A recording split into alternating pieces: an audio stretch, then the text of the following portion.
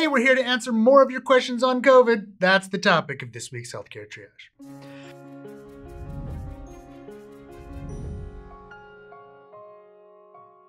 Question one Some fabric masks have an exhalation valve. Doesn't that defeat the purpose? Well, yeah, if it's just a hole by which you're breathing out, sure. But I assume, and I hope, that most of those masks have something in line to still serve as some kind of filter, perhaps not as thick, but better made with a different quality material, that stops virus, even as it makes it a little bit easier to breathe. Stan asked me about a plastic window. I have not seen any of those masks, but I assume that if it's part of the mask, then it's still nothing can get through solid. Your breath just goes around it, so it's probably fine. Two, are the antibody tests accurate enough to bother with yet? Okay, so like in some hospitals and where the labs are running them, sure. But a lot of those off the shelf ones or the ones that you get at CVS or, you know, I'm not blaming CVS, but that you could get almost anywhere, some of those are of questionable quality. And still, given the low incidence in general, you may wind up getting some false positives. So I'm not rushing out yet to get an antibody test.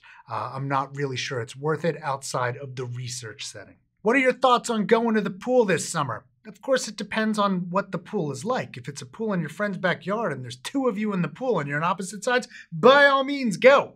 Um, but if it's a crowded public pool where you're crammed in like sardines and it's impossible to social distance, I don't know if I would do that. So again, you want to just think about the same kind of social distancing that you would want to do in general. You don't want to be on top of each other. If you have to, it's probably better to wear a mask. I know that's hard in the pool, but you know, in general, being outside is better than being inside, but you don't want to get too close to people. Four, how concerned should we be about a second wave? Well, first of all, you're assuming that the first wave finished, and that's not entirely clear in some places. Now, granted, some states have seen a real wave and then coming down. Other states, though, sort of never really hit a wave and are now jumping up. That's like they're seeing their first wave, and some saw a peak and then never really came down and are continuing going up. That's not the same thing. So the problem is we're describing the United States often as one thing, and it looks like we came down, leveled off, and are going up again. But when you look at the states individually, they all have very different curves. Not all of them are what could be considered a second wave. Regardless, though, things are getting bad in large parts of the country. That's concerning no matter what you call it. Five, if someone in my household is high risk, do we basically need to isolate as much as possible until there's a vaccine? Well, look, at the moment, I'd say still you want to you want to isolate as much as you can. That's always good um, for everybody. You know, reducing discretionary activities that put you at risk is a good idea, period, you know, until we get to a point where we reach herd immunity one way or another. But there are things that could happen in the meantime that could still make things better. Uh, there are treatments, some of them are antibody treatments. They're going to be expensive to begin with, but maybe the cost will come down that can not only treat people even before they get super severely at risk, but might even do some prevention. Uh, the problem is right now they're very, very expensive. But you know, better treatments might make it so that we could take a drug that might prevent people from getting sick. That would be a good thing. Another thing is if we ever got around to massive ubiquitous testing, then we could feel safer about many activities like going to work or going to the dentist or going wherever uh, that would make people feel safer in general uh, you know, and going out and about. We just don't have the widespread testing still, and it's maddening. But those things, if we ever got to that point, or we ever drove drove this down to the ground and we actually made it pretty rare, which a lot of countries on the other side of the ocean have done, then we could all feel safer too. But given the, the way things are in the United States right now, in large parts of the country, I still would be staying home if I was high risk. Let me put it this way my parents, they're still really isolating. How useful is it for places to be checking temperatures when we know so many people are asymptomatic? Look, every little bit helps. We need to get to a risk minimization frame of thought. So we're not trying to do everything perfectly, but every little thing we do, including staying home when we're sick, washing our hands, social distancing, wearing a mask, and checking temperatures, every little bit helps. So we will potentially eliminate some people by checking temperatures safely. That, that's a good thing. Is it a cure all? Is it going to pick up the most people? No.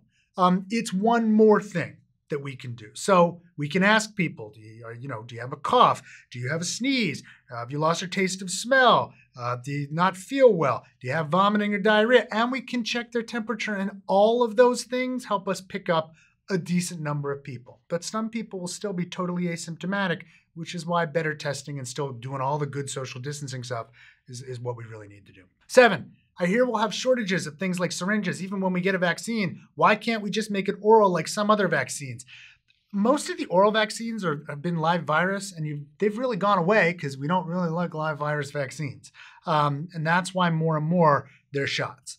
Uh, so those need to be administered with syringes. But I'm not as worried about syringes, which are everywhere, you know, as you know, the other things that might happen. Like we need to manufacture billions of doses of a vaccine. We need to have that many little glass vials. We need to know how to transport them and store them and all that other stuff.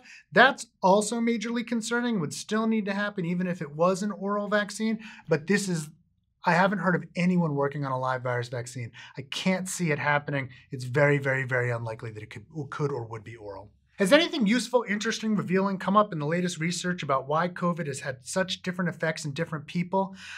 Look, everything is a spectrum. Part of our problem with this is that we still are not accurately identifying all the people that have COVID. So we're only really sure about, for the most part, the people that get very sick. So then we start wondering about the people that don't. And the truth of the matter is that, you know, just like any seasonal flu, um, or I should say seasonal virus, even let's talk about flu. So, you know, some people are fine. Some people get sick enough to go to the doctor. Some people get sick enough to go to the hospital. Some people die.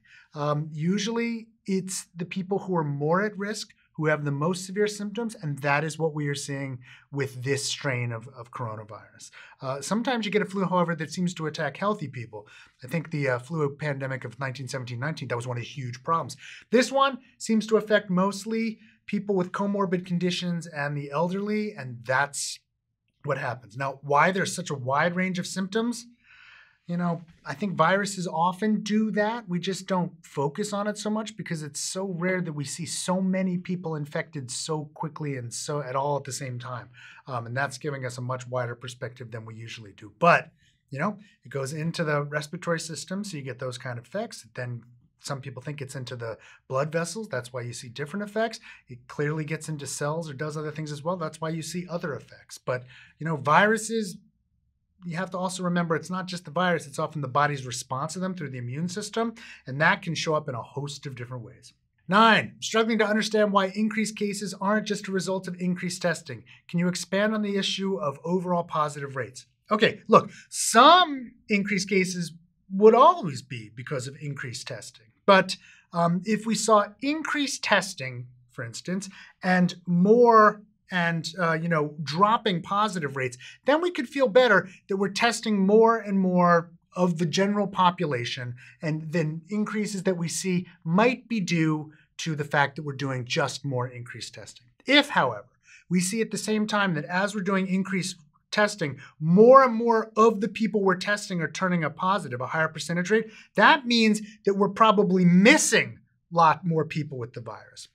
Um, because we're only testing the super sick. You know, we're testing the people that we're sure have it. That's when you get increasing positive rates. So increased testing and increased positive rates at the same time, you can't really feel comfortable that uh, that's just because we're doing more testing.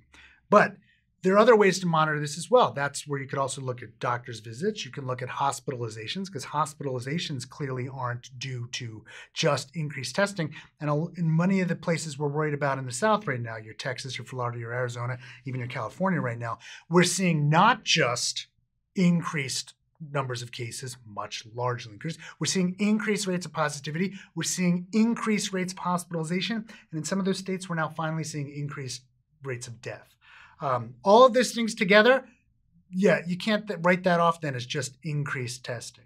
If we were just seeing, you know, really low rates, you know, of positive positivity and massive increased testing and, you know, large numbers, but no otherwise things that are concerning, that would be a reasonable time to talk about whether we're just picking up more cases than we used to. But when everything's going wrong at the, wrong at the same time, it's very difficult to blame that just on increased testing. 10. What are your thoughts on the growing consensus that extended periods of close contact are the primary form of COVID 19 transmission? Should we be less concerned about quick encounters or surface contamination? This is a phenomenal question, and I wish that I had a great answer. So I would agree with this growing consensus. Um, you know, it appears that most of the cases in the United States come from a few types of locations your nursing homes, your meat packing plants, um, and bars and restaurants. You know, it's the places where people are close together for usually a decent period of time, unmasked, shouting, breathing, talking, eating, whatever it is. Um, and of course, nursing homes were, were a completely different thing.